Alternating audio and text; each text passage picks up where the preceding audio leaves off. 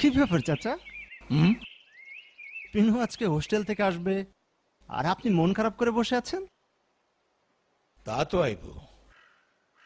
কিন্তু এই খবরের কাগজ পড়লে আমার মনটা অশান্তিতে ভরে যায় রে।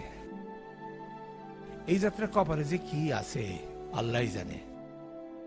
চুরি ডাকাতে খুব অপহরণ ফতুয়াবাজি আর চান্দাবাজিতে দেশটা একেবারে সয়লাভ আর বলবেন না চাচা। সারা পৃথিবীটাই কেমন জানি দুর্নীতিপ্রবণ হয়ে যাচ্ছে দিন দিন। মাতবর। ও মাতবর। সালাম চাচা। গ্রামের খবর কিছু রাখো। কেন? আবার কি হইল? আর ওই নিয়ামত্যা ওর বড় বউডারে তালাক দিয়া মানিক মাঝে ছোট মেয়েটারে আবার বিয়া করছে। বলেন কি চাচা? আবার?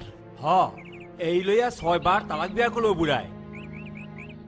আস্তাকফিরুল্লাহ আস্তাকফিরুল্লাহ মুসলমান হইয়া এইসব কাম কেমনে করে? কৌদহি মাতবর। আর মুসলমান। সারা দেশের সব জেল হাজত মুসলমানই তো ভরা। এই দেশটার কপালে যে আল্লাহ কি রাখছে আল্লাহ জানে। গ্রামে দিন দিন অপরাধ বাড়তেছে চাচা। হালিম বউকে ধরে পেটাচ্ছে ঘুষ দুর্নীতি বাড়তেছে অপরাধ অনাচার বাড়তেছে আর উঠতি বয়সের ছেলেমেয়েরা মদ কাজা ফেন্স ডিলের মতো নেশা করতেছে।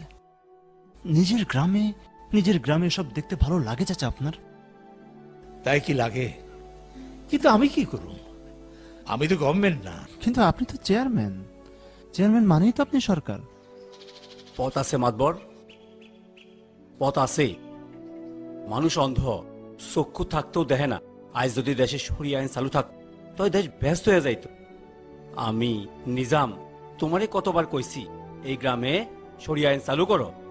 দেখো সরকার না করলে আমি কি করে সরিয়ে আনছেন করব কিন্তু চাচা পরীক্ষামূলকভাবে আমরা তো একবার চালু করে দেখতে পারি। এই এই গ্রামে যখন একবার আল্লাহর আইন সবাই বুঝে যাবে সবার মধ্যে যখন আল্লাহর আইন ছড়িয়ে পড়বে তখন দেখবেন যে দেশটা কেমন শান্ত হয়ে গেছে। মাতবর আমি আর তুমি ছোটকাল থেকে এক লগে বড় হইছি। আল্লাহর আইন হাতে আছে কিন্তু তুমি কামে লাগাইবা না। গুণ হইবে না মাতবর। গুনা একবার ভেবে দেখো।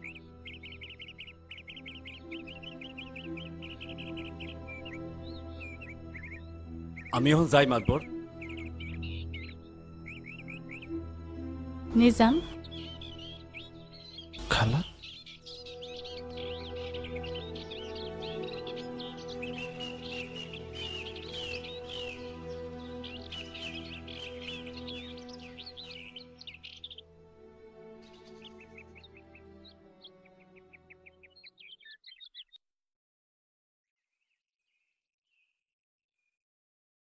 ও বুবু। ভাইজান।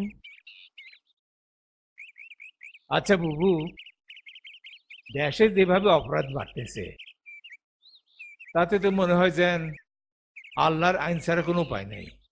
কি করি কত বুবু? ভাইজান এইটা তো ইসলামের সমস্যা। আর আমি হইলাম কি মাইয়া মানুষ। ইসলামী সমস্যায় মাইয়া কেউ জিগায় না। তুমি যে কি কও বুবু?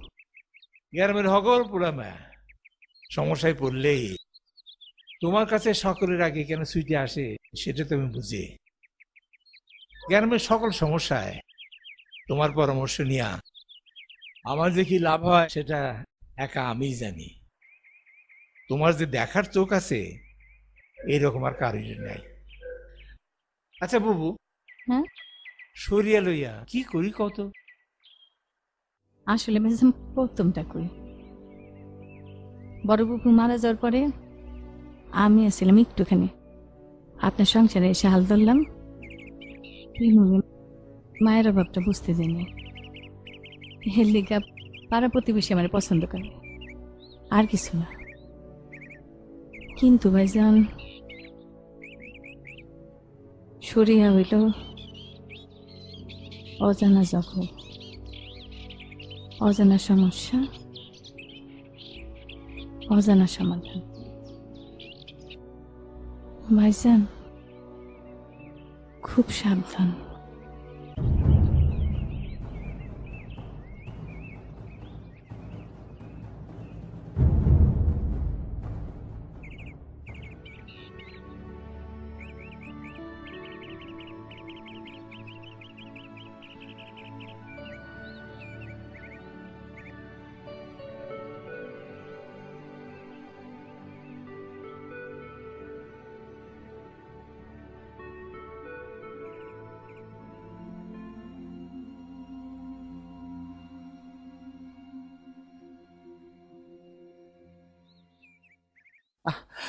হা- আরে তুমি? তো তোমার না তোমার না বিকেলে আসার কথা? হ্যাঁ সকালে ট্রেনেই চলে আসলাম। তোমাকে সারপ্রাইজ দেব বলে। আচ্ছা এই তিন মাস তুমি আমাকে ছাড়া কেমন ছিলে? কেমন ছিলাম? হুম। তোমার জন্য পথের দিকে চেয়ে থাকতে থাকতে আমার চোখ ব্যথা হয়ে গেছে। আর তুমি বলছো কেমন ছিলাম? কই? তোমাকে ছাড়া তো আমি একদিনও থাকিনি। তুমি তো আমার সঙ্গেই ছিলে।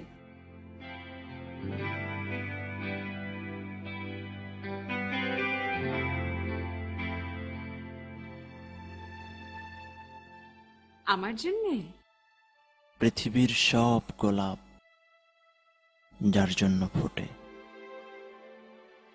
আচ্ছা দাঁড়াও। আমি একটা ফুলদানি নিয়ে আসি। শোনো শোনো ফুলদানি লাগবে না। পৃথিবীর সবচেয়ে দামি এবং সর্বশ্রেষ্ঠ ফুলদানিটা এখানেই আছে। এখানেই আছে? বাহ তা সেটা কোথায়? কোথায়? হুম।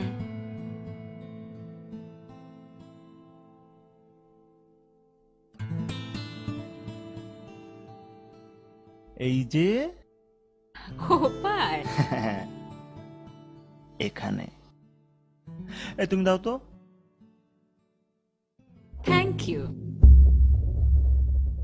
এগুলো কিসের বই? ও এগুলা? হ্যাঁ। এগুলা হলো সব শরিয়া কেতাব।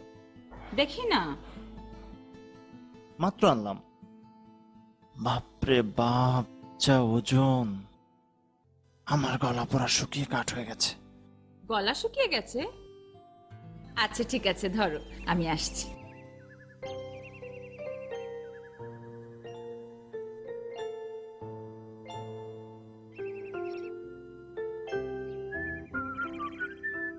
বন্ধু? আরে সাইদ বই বই। কেউ সাক কিরে? তো স্যারে দিয়ে শুটকি মাছের মধ্যে শুকাই রইছে। নে সিগারেট খা। সাইদ আমি সিগারেট খাই না। খাস না কেন? বাপ মা মরা পোলা তুই মুক্ত স্বাধীন। সাসাই চেয়ারম্যান খালায়ও তো অনেক আদর করে তোরা তো সবাই ভালোবাসে। খাস না কেন? তাস খেলস না সিনেমা দেহস না মায়া মানুষের উপর টাঙ্কিও মারস না। তুই বাঁচবি কেমনে রে? ইসলাম। আমি ইসলাম নিয়ে বাঁচব।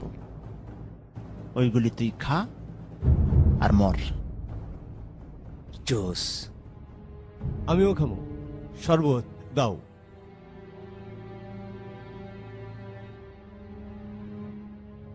সম্মান করে কথা বলেন।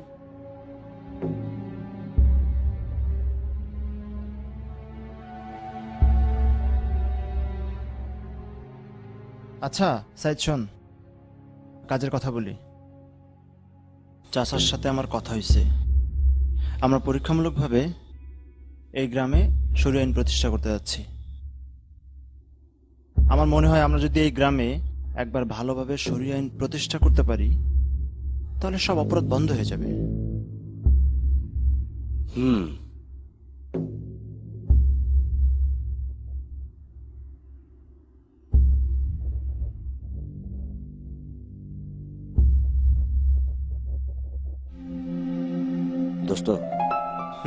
বল। হাসা কইরা কও দেখি। এই মায়াটার লগে তোমার কোনো স্পেশাল সম্পর্ক আছে? স্পেশাল সম্পর্ক? আমার? হ্যাঁ ওর সাথে? শিওর হ্যাঁ কেন? না জিগাইলাম আর কি। শিওর এলাম সম্পর্ক নাই। ওকে। গুড। যাই। এই সর্বোচ্চ খেয়ে যা। খামু। সময় মতো খামু। অহন মনটা ভালো নাই। অসুবিধা আছে। আরে একটু খা। একটু খাওয়ার অভ্যাস আমার নাই। যখন খামু পুরাটাই খামু। পুরাটা।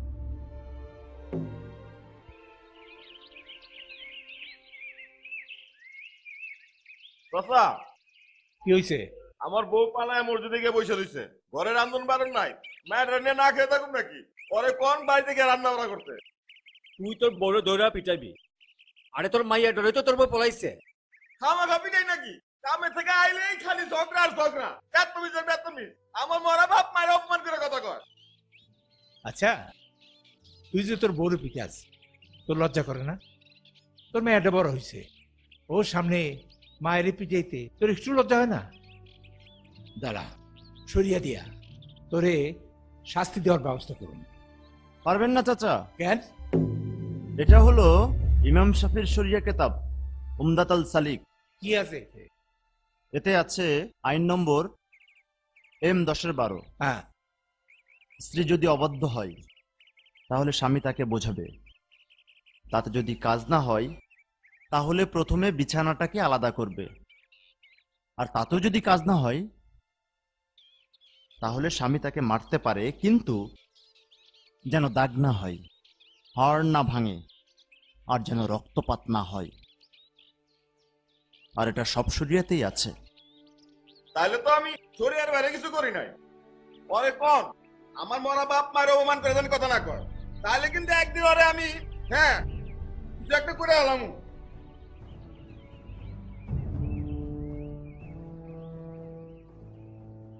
বুঝলাম আকবর। ইসলামে পরিবার হইল অত্যন্ত গুরুত্বপূর্ণ। পরিবার বাঁচানোর জন্য বউরের শাসনের দরকার আছে। তাইলে ওর বউ বিচার পাইব কেমনে? এইটা স্বামীর পক্ষে একতরফা হয়ে গেল না? প্রশ্ন করে না মাতবর প্রশ্ন করলে ইমান দুর্বল হয়। চলো মসজিদে গিয়ে বউরে